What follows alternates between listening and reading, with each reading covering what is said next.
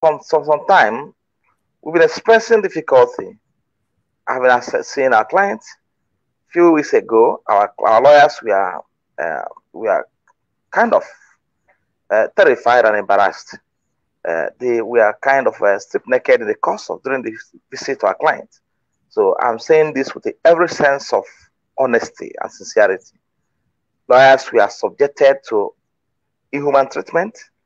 They were searched as if they were searching criminals with incriminating object or substance. They were not allowed to move into usual convenient, uh, conventional way you just visit our client. They were, removed their, they were asked to remove their shoes. They were subjected to all forms of frisking and such. They were asked to remove their watch, their belts, their, their wristwatch, their bangles, then their ties too. So these are these are things we asked to remove right inside the offices. So and at the point of now trekking to where you are supposed to meet our client, people, the onlookers will see you as people who are being investigated. We see as common criminals who are usually brought in to our department for investigation. So this treatment has been ongoing, at least for three consecutive times we visited. So before the last visit of Thursday, uh, our partner from UK, from US came, Bruce Fein came. So, and of course, we have taken it a step further by notifying the DSS about the persons who are coming to visit before time, each time we're going to visit, because that actually is not part of the order of court. But we are doing that to make sure that um, we have records and also they have record of people who are coming to visit him. So we notify them at least for eight hours thereabout before the date of visit. So we've done it. We did it in the case of um, in case of um, friend that we notified him the authority that are coming there with he's coming there with me to see to visit the client, his clients, uh, whom he has been representing in US. So only for us, and also I want him to use that opportunity to also observe uh, what we are passing through in the hands of the service. Uh, so um, which apparently suggests in the circumstance that our client will not get a fair trial in the trial. So otherwise, unless it's removed from that department. So though we have an application before the court for him to be taken to a conventional place where we, have access to him, prepare for his trial, and also proceed in court. So, but on Thursday, we are there, and uh, in line with the protocols, they were informed that we are around to see our client. Only for after a few minutes, somebody came to see us panting. Obviously, it was apprehensive of the fire that they are scouting for excuse to give us. So all written over him. So he now told us that um, people who are to receive us, person who are to receive us, has gone on a special assignment, and as such, we can't can be can't say visit our clients today. So this is another of court. We're not visiting our client on Mondays and Thursdays at the discretion of the SSS. That is not the position. The position that the court has given an order that we should visit him Mondays and th Thursdays. And uh, by there's nothing whatsoever that will stop us from doing this, complying with this order of court. So anything short of that will amount to breach of order of court, which they did deliberately in the circumstance. However, we have taken steps to inform the court, communicate the court about development of on Thursday, and also uh, we have also activated the judicial process towards ensuring that people who are found culpable in this regard are charged, charged in charged for contempt of court because it's clear contempt of court. So court made an order directed how to see when and how to see the client. Yeah, it's not within your rights, within your discretion to tell us that someone who is to receive us on this day to see our client is not there to receive us. After we have them in their numbers there who are serving there. And as a matter of fact, let it be mentioned here or pointed out here that we haven't been received by one person during the course of this visit. No, they have many of them there who can receive us and also take, take us to our client to have a chat with him. Particularly when this matter is fast, the date for hearing is fast approaching. So, and also, against the backdrop of the fact that his lawyer from US is here to see him. So, and remember the order of court says our lawyers will be allowed access to him, including his relatives. So, that's such we found ourselves. But as, now, as, as, now, now, has this been happening? Remember, you know, for for clarity for viewers watching us, the, the moment the court made that order, that is uh, Justice Binta Nyako, that was actually was not obeyed immediately. Is that correct? There sure, was it wasn't obeyed. Okay. The, the, not, not, not, not, only, not only son, let, let, me correct an impression because uh, mm. it, it, this shouldn't, shouldn't be the first time it happened. It, mm. The court made an order on a Monday, being 26th of July, 2021, they're stipulating the, the manner in which to be seen we visit our client. So, and parties were there. When I mean when I when I'm talking about parties, I mean lawyers for the federal government, lawyers for the defendant, and also representatives of the SSS were also there when the guideline was agreed upon. The court proceeded to even write something, scribble something down and give it. So I cannot say that we are not informed. Now, on Thursday was the date we went for visit. Thursday should be should be apparently 29th, right? 29th of uh, July. We went to visit. On that day, we are turned back. We are asked to go and fight officially to the DGSSS. So, and we didn't hesitate in approaching why, court. Why were you turned back? Is it that the DSS was not aware that the court made that order or that they have actually, that they are above the law? In all, in all fairness, in all fairness to them, the personnel of the DSS, I mean, in this case, I mean the legal permit, confirmed to us on that day that they were aware of this order of court. They confirmed to us they were aware. But as it stands now, we should go back and formally write to the DGSSS. I said, okay, if you are aware of this order of court, why do you expect us now to write again? You said you were informed, you were briefed about what the court said on the guideline for visiting our client. Then why asking us to go back again and write? Then we'll have to go back to the court immediately after we left the place. Five from 48 and seven of them. So upon the receipt of Form 48, that was when they did NAFOs and asked us to come back on Monday.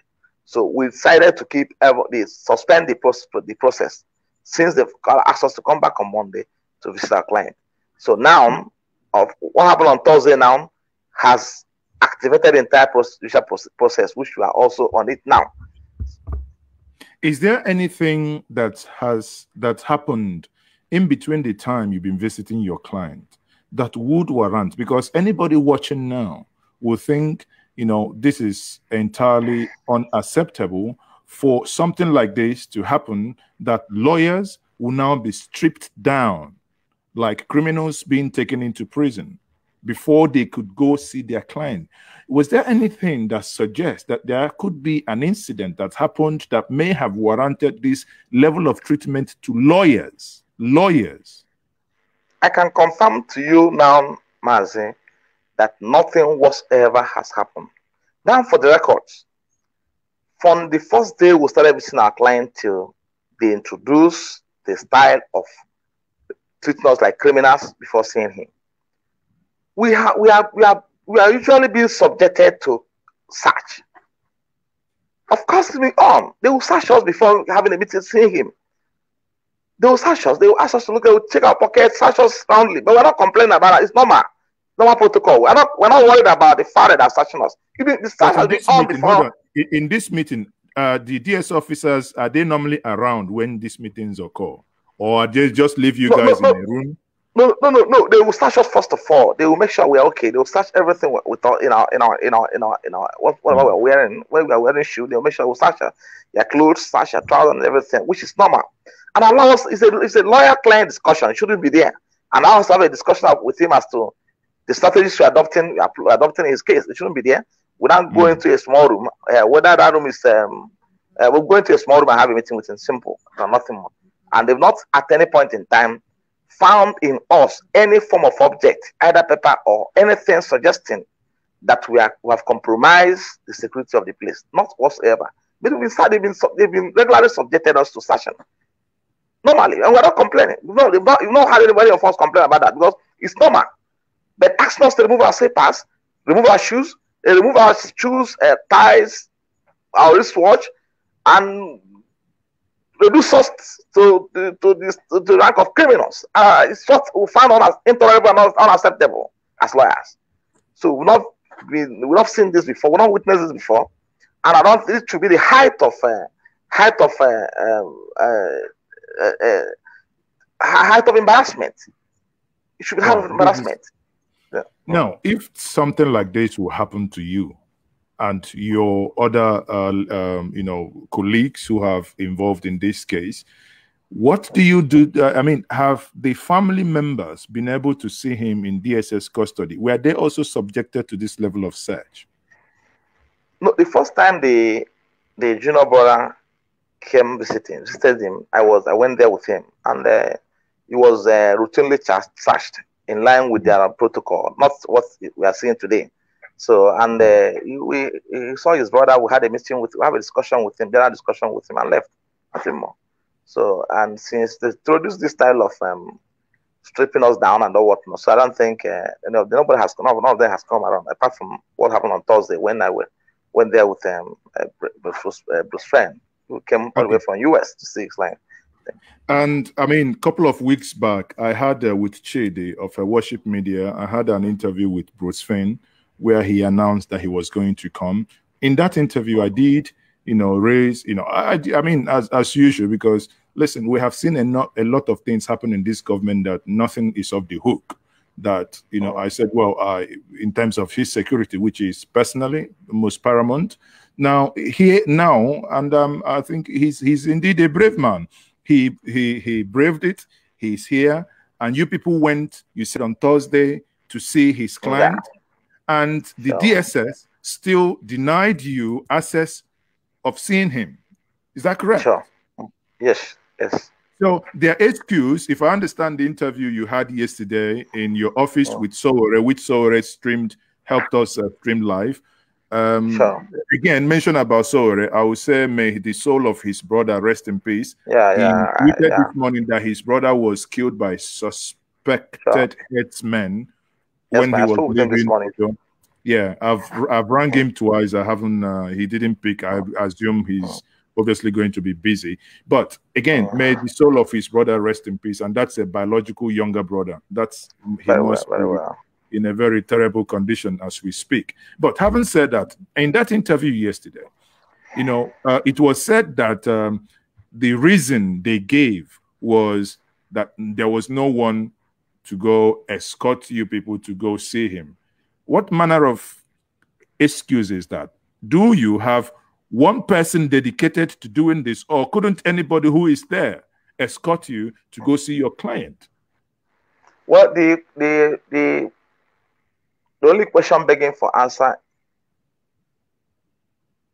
in this point in time, at this point in time, is one thing. One, we have been visiting our clients. We've gone there regularly to see him. What they have to answer you, if you can ask them or call them, has there been any occasion when a person, an individual, receives us? The answer is no. From the office, during the course of visiting our client. Not one individual, not even two, not three. Will be being received by different persons, not even one. So we've been being received by a different person. One, two, three, four different persons have been receiving us. So in this case, they told us that the individual who's supposed to receive us went on a special assignment. So, so I, I, don't, I don't want to. Of course, you know the excuse is not more or less ridiculous. So I want to go into the merit or otherwise. Of course, you know they are trying to they are trying to scouting for us something to tell us to go. That's all. So, but let's wait and see what happened on Monday. Because going so back on the, you, we're going back on Monday. Okay, so you're going back on Monday to see him. Sure. And, um, sure. Fingers fingers crossed. Eh, obviously, that excuse because if they come up with another excuse, it will now be very obvious, even visible to the blind and audible to the deaf. Sure, sure, sure. sure. Now, I will not know, have any apart from apart from this 10th of 29th of July, uh, 2000, and, uh, uh, where they denied all access to him, I don't think afterwards we've been having seen him. We've been once come, we feel like they will notify them about our, our, our, our presence. They will call them and allow us in, take us and search us, and we're going normal, usually. We never had any constraint, we never have any like challenge. Visiting him, discussing with him, seeing him before, since then, afterwards. You have made an application in so until Sorry, you made an application. Again, sorry, to, you you've made an application to the court for your clients mm. to be moved to Kuje prison. Now, when is that hearing sure. for that matter coming up? And why, you know, obviously there is no decision that will be made until the court says otherwise that your client should be moved to Kuje prison. Uh, uh, of course, you know the matter been adjourned to October 21st for, for hearing. And these are pending applications the court will discharge, dispose of before going into the substantive uh, trial. So uh, once that court seat, anytime court seat, if court seat or not before then, the, that should be the first application court to entertain because it's very compelling. in the circumstance we presently find ourselves. Because if that is not uh, uh, taken and probably um, rule entertain on the merit, I don't think it will affect a number of things we are doing in court, particularly our relationship with our client as regards to where he's being presently kept. Because if he's not, if you don't have access to him, if you cannot have briefs with him, as in pre-trial conference with him, under a polite environment, that means he cannot be effectively defended. So we cannot, he can't be interviewed under an atmosphere of fear and uh, intimidation. That's not, it, it, can, it, can't, it can't happen. I can assure you it can't happen. There's no trial will go on under that kind of environment. That cannot happen. I can assure you. Because as far as concerned, Nnamdi has not been convicted. He still presumed innocence in the eyes of law. So he's entitled to all facilities available to him to prepare for a trial. That's what the Constitution says. The Constitution, which they are still respecting and observing today. So if they cannot uh, allow him benefit to have the benefit of this provision of the Constitution, that means no trial will go on. I can I can say that to the whole world at this time point in time. Okay, so but uh, before I allow you go, I know you are very busy. I know that other things, as you told me, that is uh, happening around you. But before I allow you go, it would be unfair to have have the privilege of bringing on this platform, and without you telling millions of people watching and those that were watching after this program, what is the state of health and state of mind of your client? Well, I will first of all address the state of health, but state of mind is firm, stable, firm, stable, firm, stable, state of mind, firm, firm, stable. Then now coming to state of health, we are privy to the fact, which is now before the is now within the public domain, that he was abducted in Kenya, kept in a, an environment, unconventional environment, taken to a, a, a, residential private residential apartment, where he was subjected to all forms of inhuman treatment torture. They inflicted him with all sort of injuries in his body. So he's still yet to recover from that, from the injuries inflicted on him and torture he underwent. Now, he's still being subjected to torture today. I can confirm that to you. Hold on, hold on, hold on, hold on, hold on, hold on, hold on here. You mean as he sees today, he's still being subjected to physical torture? Yeah. No, I mean, he's still being subjected to torture.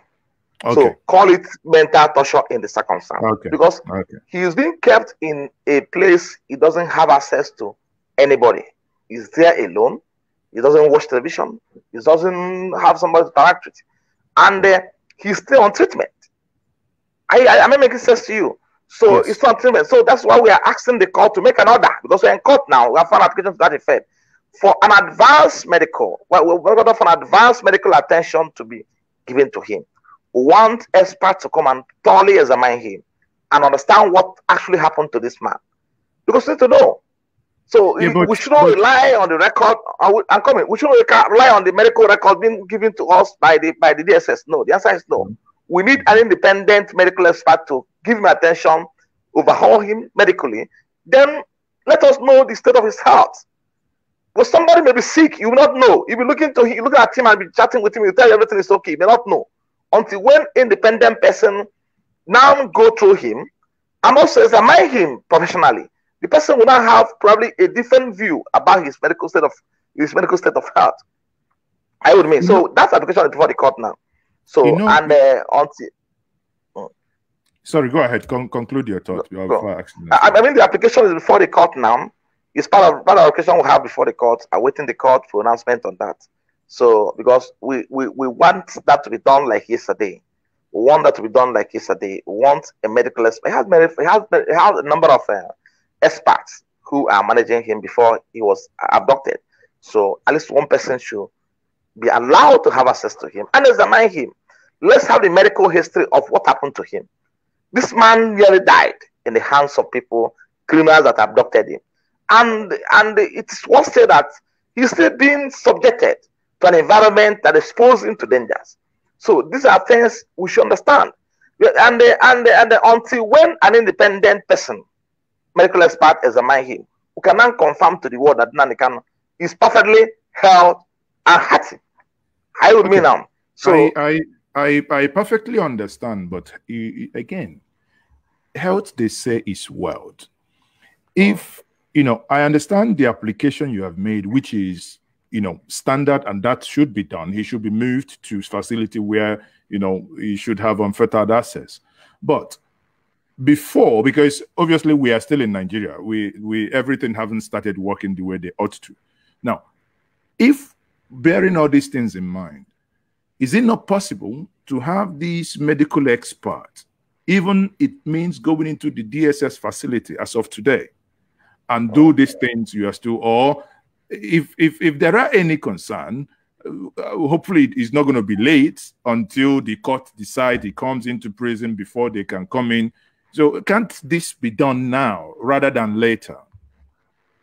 Well uh, as it stands now we have taken a number of steps. I may not like to discuss in public in that regard and um, because uh, we can't do anything without reference to court. Of course you understand how the system works here so, and uh, once the court is not involved formally in anything you're asking them to do, they will find a excuse. They will have, they want to have, they will have a readily excuse to give you. So, um, we have done taken some steps I may not like to discuss in the public mm-hmm. domain uh, for the public. So, and I believe in the course of time that um, I'll make some things public. I, be, I will believe in the course of time I'll make it public when necessary. But now, as it's now, I will leave it as, as it is. So, regarding the efforts we're making to get an expert to examine him things are being we are taking we are taking steps in that direction. So I mean, but I'm not to discuss the substance of merit otherwise inviting this platform for now. But I may discuss that later because of time. Yeah, thank you very much. And uh, before I let you go, um, is there anything that he has told you to tell everyone watching and people, you know, maybe siblings? Obviously, he's cut off with everybody um, sure. unless unless you come because there is no telephone unless somebody visits him.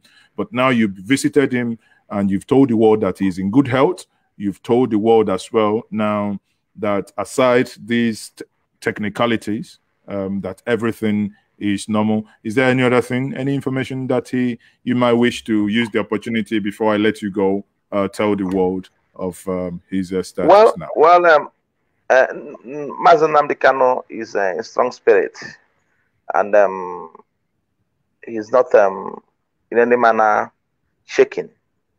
Uh, he's still strong. He's still he's strong in his convictions, um, still remain firm in his belief. So he asked me specifically to tell people to at least thank people for his for the overwhelming support, his millions of fans, and also solidarity shown so far because uh, we discussed about solidarity of people so he said that you is eternally grateful to them and that you continue to pray for him so that this too will come to pass because I know he'll be he has not committed any offense to law to deserving of what um, is travel is passing through now. So Mr. should extend his uh, heartfelt gratitude to people, to his supporters, to millions of fans who are daily praying for him and who are who are clamoring for his release. So and they should remain resolute and, and consistent in that request. Thank you so much and remain bless. Thank you very much, Barrister Ejiofor. That's a very fine place to leave it. And everyone, thank you very thank much you so for much. joining us in this brief conversation. It's now about 14.53 here in Nigeria. And uh, I will say thank you once more for your time. And as you go on Monday, so again, send our regards to him and send uh, regards sure. to your team. And we say thank you sure. once more for being part of this broadcast this afternoon. Thank you very much, thank Barrister Ejiofor. Again, thank you. So, everyone watching me, I just had this conversation now. This was a live conversation with Barrister Ifeanyi Ejiofor, who is the lead counsel, uh, indigenous people of Biafra, and also the lead counsel to Mazi Nnamdi Kanu. Again, millions, uh, I know many of you watching this was live. Those of you asking on the comment section if it was live or it's been recorded, no, it's not live. It is now um, six minutes to three o'clock afternoon here in Nigeria. And again, I would say thank you for being part of this conversation. We might see ourselves later in the day when are coming from our street parliament in the evening. I am still your host, Mazi Ezoke, and I say Peace out.